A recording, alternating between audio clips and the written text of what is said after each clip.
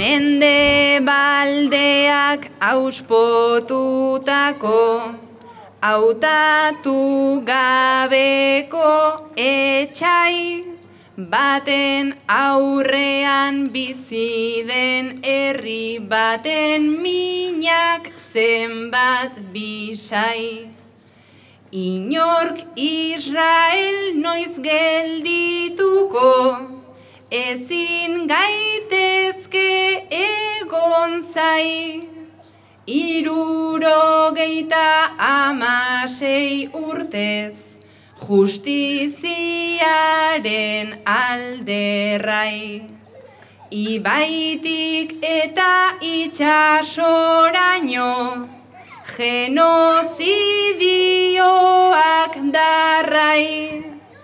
Ta itxasoa ezin da atxiki baina, honen erantzuleak bai. Barainaingo bizilagunen talde bat gara. Eta uste dugu, funtzeskoa dela Palestinako herriak bai- pairatzen duen egoerari babes plurala eta bateratua ematea. Ez gaude egoera kojuntural baten aurrean. Israelgo estatuaren errepresio bortitzaren hamarkadak dira. Argi daukagu nor den zapaltzailea eta nor zapaldua.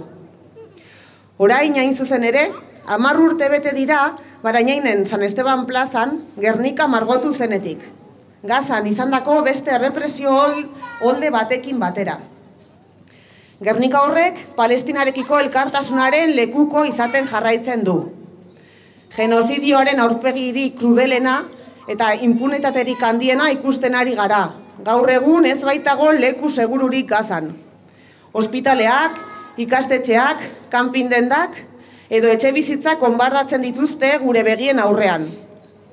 Hitzak amaitu egiten zaizkigu, Israel, Gazan eta Palestinako gainerako herrietan egiten ari dena deskribatzeko.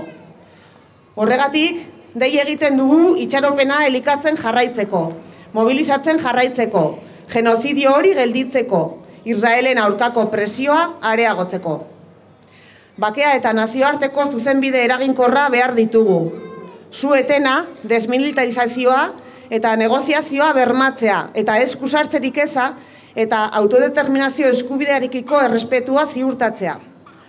Lurralde palestinarrei eta bertako biztanleei aske bizitzeko eta Israelen zigo- zigorgabetasunarekin amaitzeko tresna material eta politikoak ematea beharrezkoa da gaur hemendik dei egiten diegu Espainiako gobernuari eta Nafarroko gobernuari Israelgo estatuarekin edozein harreman mozteko.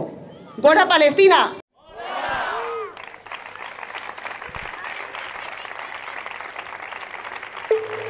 Gora!